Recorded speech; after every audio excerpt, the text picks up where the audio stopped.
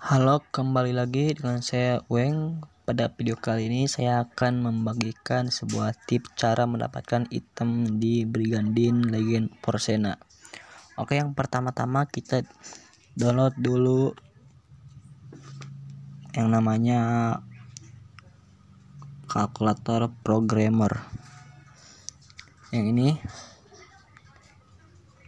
karena saya sudah mendownloadnya saya langsung ke sini lalu di sini kita harus pergi ke gamenya.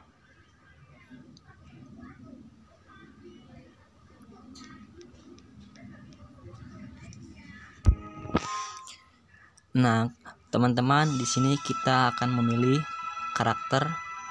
Nah di sini saya akan memakai karakter panyar dari Nogar ya oke Oke.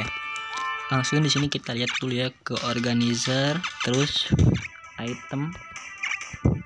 Ini kan belum saya cheat, jadi masih ada satu kita pakai aja dulu ya. Lalu kita lihat di sini apakah cheatnya masih ada atau belum. Cheatnya masih belum ada ya teman-teman. Setelah itu kita pergi lagi ke Google Chrome. Sekarang kita pergi ke Google Chrome.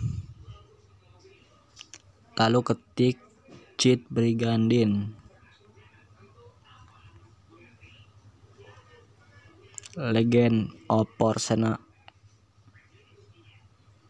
lalu kita ini cheat list brigandin yang kedua.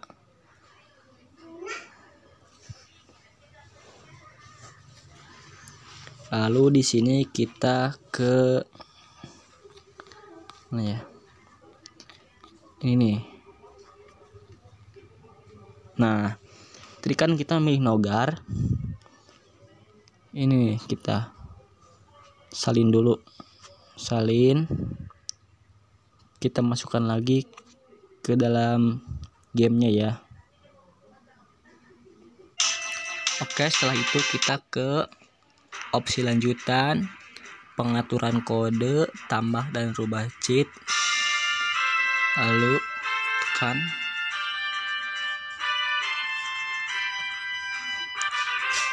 Pagar. Di sini kita tulis item nogar.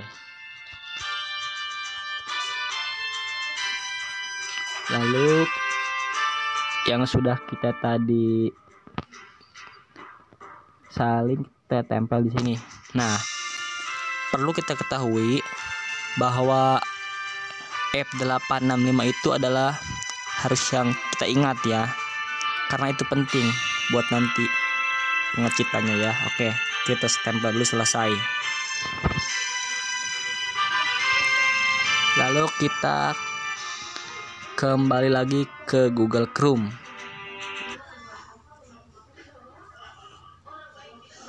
Nah di sini kan ini ada nomor kodenya nomor kode.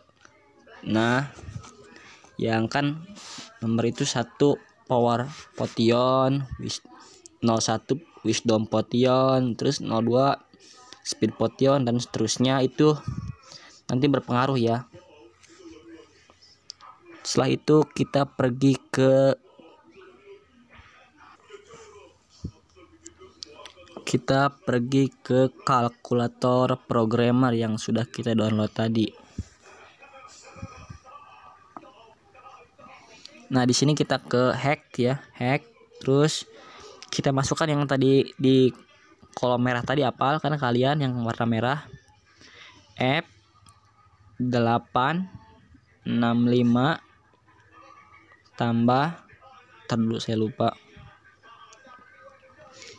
saya di sini memilih rune potion yang nomor 05 ya.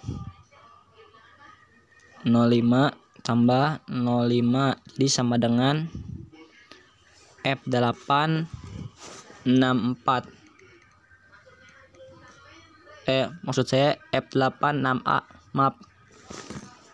Setelah itu kita pergi lagi ke gamenya ya teman-teman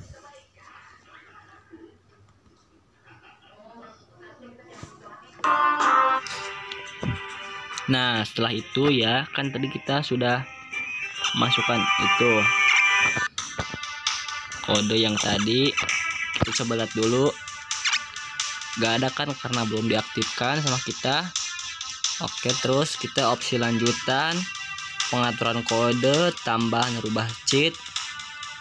Nah tadi kan yang saya bilang ke kalian yang F865 itu yang tadi yang sudah saya ubah jadi F86A selesai simpan lalu aktifkan item negar cheatnya aktifkan cheat item negar setelah itu kita pergi ke item lagi. Nah kan ada. Itu yang nambah rune jadi kapasitasnya ya? Kapasitas buat monsternya masuk berapa? Itu. Ya dulu saya mau coba. Nih. Tuh kan jadi 460 bisa masuk banyak nih kalau begini mah. Tuh gini